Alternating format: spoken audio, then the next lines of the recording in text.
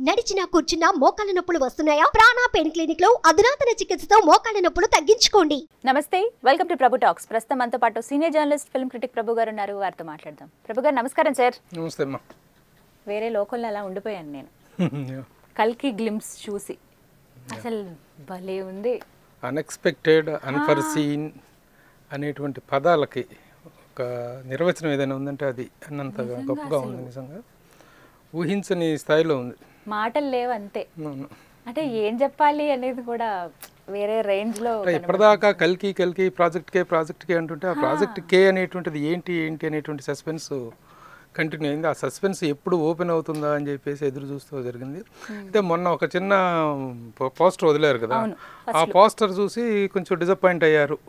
Fans Prabhas look అంత బాగలేదు ఏంటిది అని చెప్పేసి ఆ కామెంట్స్ కూడా. ఆ కామెంట్స్ వచ్చినాయి. మ్మ్. ఆ కామెంట్స్ వచ్చిన మరుసటి రోజే కలికి గ్లిమ్స్ అనేటువంటి దాంతో ఎక్స్పెక్టేషన్స్ మామూలుగా అసలు ఎందుకంటే అది చూసి ఒక చిన్న లో ఎక్స్పెక్టేషన్లోకి వెళ్ళారు. ఆ, లో ఎక్స్పెక్టేషన్లోకి వెళ్ళిన దాని మీదట ఇది వెయిట్ అది strategical గా చేశారేమో నాకు అర్థం కావట్లేదు నిజంగా. అనిపిస్తుంది అసలు ఫస్ట్ ఒక చిన్న ఫస్ట్ ఒక చిన్న డిసప్పాయింట్మెంట్ ఇచ్చి తర్వాత సర్ప్రైజింగ్ షాక్ ఇద్దాం అనేటువంటి దీంతో ఆ చిన్న గ్యాప్ తీసుకొని వదిలేరనిపిస్తుంది నిజంగా.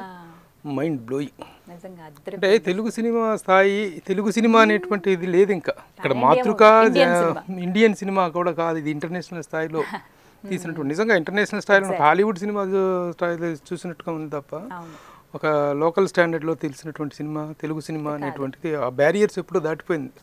ఇలాంటి పెద్ద క్యాన్వాస్తో వస్తున్న సినిమాలు ముఖ్యంగా ఈ సినిమా అనేటువంటిది ఏ స్థాయికి తీసుకెళ్తుంది అనేటువంటిది ఆలోచిస్తేనే రియల్లీ గూస్ బంప్స్ వస్తున్నాయి అంత అద్భుతంగా ఉంది. ప్రభాస్ పర్ఫార్మెన్స్కి ప్రభాస్కి ఎందుకంటే గతంలో వచ్చిన డిసప్పాయింట్మెంట్స్ ఎగ్జాక్ట్లీ రాధేశ్యామ్ కానీ అక్కడి నుంచి. అక్కడ నుంచి సాహో ఆది పురుషు వీటితో చిన్న డిసప్పాయింట్మెంట్తో ఉన్నారు ఫ్యాన్స్ అందరూ కూడా. అవి మొత్తం ఒక్కసారిగా ఇప్పుడు మొత్తం ఇలా హోప్స్ అన్ని కూడాను దీని మీద కలికి అందులో బ్లాస్ట్ అయినట్టు బ్లాస్ట్ అయిపోయింది. ఎక్స్పెక్టేషన్స్ అద్భుతంగా రీచ్ అయ్యే స్థాయిలో ఉంది ట్రైలర్ నెగిటివ్ ఒపీనియన్ అంతా పోతుంది అని అనిపిస్తుంది అవును. ఆ ఎనర్జీ అసలు పెద్ద పెద్ద స్టార్లు మళ్ళీ. అందులో టైటిల్ వచ్చిన తర్వాత కల్కి ట్వంటీ ఎయిట్ నైంటీ ఎయిట్ అదేంటి sir? Twenty eight ninety eight నాటికి? అంటే టైం మిషన్ సంబంధించినటువంటి సినిమాన? మామూలుగా కల్కి అనేటువంటిది మనకున్నటువంటి ఒపీనియన్ అంటే మహావిష్ణు అవతారాల్లో చివరి అవతారం. కలియుగం అంతానికి. పాపం పెట్టరేగిపోయినటువంటి సమయంలో సందర్భంలో మళ్ళీ ఒకసారి ధర్మ సంస్థాపన కోసం కల్కి అవతారం ఎత్తుతాడు మహావిష్ణువు అనేటువంటిది మనకి ఉన్నటువంటి బిలీఫ్. ఆ బిలీఫ్లో నుంచి తీసుకున్నటువంటి ఒక టేక్ ఆఫ్ అనేటువంటిది కలుగుతుంది. అన్ని సంవత్సరాల తర్వాత ఎలా ఉంటుందనేది ఇప్పుడే చూపించేస్తున్నారు చూపించేస్తున్నారు. ఏం జరగబోతుంది ఏంటి అనేటువంటి దాని మీద చిన్న ఇది. సో ఎక్స్పెక్టేషన్స్ అన్ని సలార్ మీద అండ్ దిస్ కల్కి మీద ఉన్నాయి. సో ఎక్స్పెక్టేషన్స్ ముఖ్యంగా ఇది అనౌన్స్ చేసిన తర్వాత ఇక ఫ్యాన్స్ ఆనందానికి హద్దు హద్దులు లేవు. ఎక్కడ ఆగట్లేదు ఇంకా. ఆగట్ల మేకింగ్ వేవ్స్ సో ఎక్స్పెక్టేషన్ బట్టి అయితే ఖచ్చితంగా ఉంటుంది అంతకు రీచ్ అవ్వాలని కోరుకుంటాం ఒక్కసారి ఆ గ్లిమ్స్ చూసినప్పుడు మీకు అనిపించింది ఏంటి సార్ మిగతా ఆర్టిస్టులు కానీ మిగతా వాళ్ళని చూసినప్పుడు. అంటే it is an unusual film అమ్మ. మ్మ్. మనం మామూలుగా జనరల్గా ఒక ఒక కమర్షియల్ సినిమాకి ఉండేటువంటి కమర్షియల్ స్కేల్స్ పాయింట్ ఆఫ్ వ్యూలో కాకుండా వాటన్నిటికంటే కూడా ఒక అతీతమైనటువంటి ఇది కనిపిస్తుంది. మ్మ్. ఒక రెగ్యులర్ పారామీటర్స్లో ఉండే సినిమా కంటే కూడాను ఒక కొత్త ప్రపంచంలోకి ఒక కొత్త ఆలోచన విధానంలోకి తీసుకెళ్ళే సినిమా కనిపిస్తుంది. ఈ cannot scale it in ordinary way అనిపించింది అనమాట ఆ రేంజ్లో విజువల్స్ కానీ కానీ చాలా అద్భుతంగా ఉన్నాయి. ఫస్ట్ మీరు అన్నట్టు ఏంటి ఈ ప్రాజెక్ట్కి అందరూ అదే క్వశ్చన్ చేశారు ఎలా ఉంటుంది ఏంటి అని. మళ్ళీ పెద్ద పెద్ద ఆర్టిస్టులు. కమల్ అమితాబ్ బచ్చన్ గారు కమల్ హాసన్ గారు. కమల్ హాసన్ గారు అంతా దీపిక పదుకొని దిశా పటాని. ఆబ్వియస్లీ మన ప్రభాస్ ఉన్నారని తెలుసు. మిగతా వాళ్ళందరితో కంపేర్ చేసి చూస్తే. చాలా సో ఈ ఈ విజువలైజేషను ఇంత ఇంత స్పాన్లో ఒక సినిమాని ఊహించడం అనేటువంటిది చాలా గొప్ప విషయం మ్మ్. యాక్చువల్గా ఒక సినిమా అనగానే హీరో టైటిల్ రోలర్ అందుట్లో ప్రభాస్ కావడంతో ఫోకస్ అంతా ప్రభాస్ మీద వెళ్ళింది but Nag Ashwin have to appreciate స్పెషల్గా మెన్షన్ చేయాల్సింది Nag Ashwin.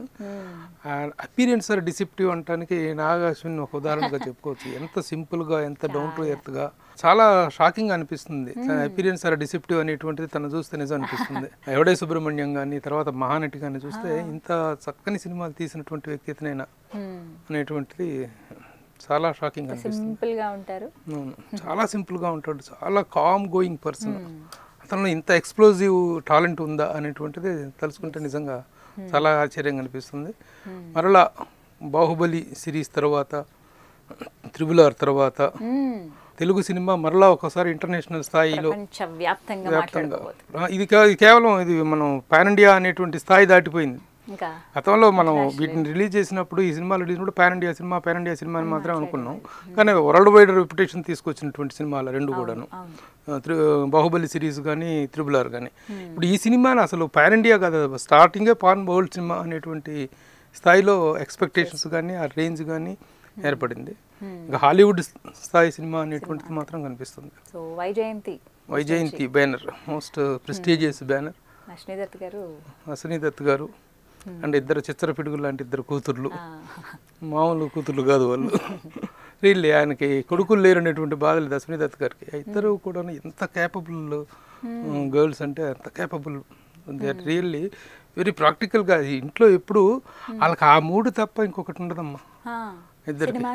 Cinema cinema cinema ఆ. ఇద్దరు కూతుర్లను మాత్రం గొప్ప కూతుర్లు కన్నారు దత్ గారు.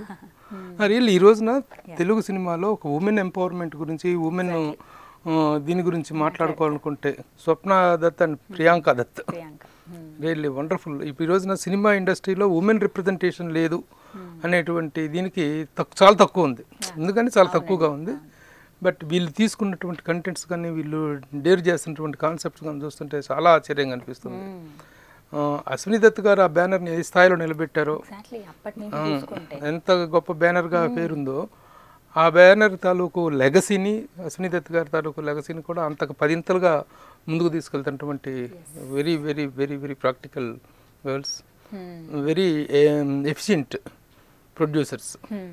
అని అర్థం సో ఇటు వాళ్ళ పాయింట్ ఆఫ్ వ్యూలో చూసుకున్నా డైరెక్టర్ పాయింట్ ఆఫ్ వ్యూలో చూసుకున్నా ఒక హీరో పాయింట్ ఆఫ్ వ్యూలో చూసుకున్నా మ్మ్. ఏ యాంగిల్లో చూసుకున్నా సరే ఒక comprehensive film from Telugu industry అనేటువంటిది మనందరం చాలా గర్వంగా ఫీల్ అవ్వాల్సిన విషయం. గ్లిమ్స్ ఎలా ఉంది? ఇంకా ట్రైలర్ ఎలా ఉంటుందో? సినిమా ఎలా ఉంటుందో? రెండు ఎక్స్పెక్టేషన్ వేల ఇరవై నాలుగు కదా సార్? రెండు వేల ఇరవై నాలుగు. ఇరవై ఎనిమిది తొంభై ఎనిమిది. ఇరవై ఇరవై నాలుగు. అప్పుడు చూడబోతున్నాం ఇప్పుడు చూడబోతున్నాం. ఆ టైటిల్ వేసిన దగ్గర కూడా అన్ని లాంగ్వేజెస్ వచ్చి రావటం ఇంకా అదే పాన్ వరల్డ్ సినిమా అనేటువంటిదే. అర్థమవుతుంది. ఆ అర్థం వచ్చేలాగానే ఆ టైటిలింగ్ కూడా చేయటం జరిగింది. మ్యూజిక్ సంతోష్ నారాయణ. సంతోష్ నారాయణ మ్యూజిక్. బాగుంది. ముఖ్యంగా ఆ గ్లిమ్స్ ఆ కాస్త గ్లిమ్స్లోనే ఆ మ్యూజిక్ ఇచ్చిన ఎలివేషన్ ఆ గ్లిమ్స్కి అద్భుతమైన ఎలివేషన్ వచ్చింది. So highly awaited film so ఒక్క గ్లిమ్స్ తోటే ఇంత అటెన్షన్ డ్రా చేశారనుకుంటే ఇక ముందు ముందు ఈ సినిమాకు సంబంధించిన ఏ అప్డేట్ వచ్చినా సరే అది ఒక సెన్సేషన్ అవుతుంది అనేటువంటిది దాంట్లో డౌటే లేదు. ఇప్పుడు ఇలా కొంచెం టేస్ట్ చూపించేసరి ఇంకేంటేంటా నెక్స్ట్ ఎప్పుడెప్పుడా ఎంత త్వరగా ట్వంటీ ఫోర్ వస్తుందని వెయిట్ చేస్తారు నేను చేస్తున్నాను ఈ ప్రీవియస్ డిసప్పాయింట్ మొత్తాన్ని కూడా ఈ గ్లిమ్స్ కొట్టేసింది. తీసేసింది అనుకోవచ్చు. ప్రభాస్ ఫ్యాన్స్ ఏదో చిన్న డిసప్పాయింట్మెంట్లో ఉన్నారు. ఆది పురుష్ మీద చిన్న ట్రాలింగ్ బాగా ట్రాలింగ్ నడిచింది. అంతకుముందు రెండు సినిమాలు కొంచెం డిసప్పాయింట్ చేసినాయి అనేటువంటి దీన్ని మొత్తాన్ని తుడిచేసింది ఒక గ్లిమ్స్ తోటి. సో ఎక్స్పెక్టేషన్స్ అనేటువంటి చాలా హై పిచ్లోకి వెళ్ళిపోయినాయి. సో తన గెటప్ కూడా చాలా బాగుంది. చాలా గొప్పగా ఉంది. So in every aspect every aspect the film is going to create sensation అనేటువంటి దాంట్లో ఎలాంటి సందేహం లేదు. Let's wait for that sensation yeah wait for two thousand twenty four. ఇంకా డేటు మంత్ అనేటువంటి ఇంకా ఫిక్స్ అవ్వలేదు. అనౌన్స్ చేయాలి. బట్ మోస్ట్లీ ఫస్ట్ హాఫ్లోనే ఉండొచ్చు అనుకుంటున్నాం. మాక్సిమం Hmm, ఉండొచ్చు. అప్పటికల్లా. ఇప్పుడు ఎలాగో ఈ ఫైవ్ మంత్స్ టైం ఉంది. ఈ షూటింగ్ అనేది జరుగుతుంది. రైట్ సార్ థ్యాంక్ యూ అండి నమస్కారం నమస్తే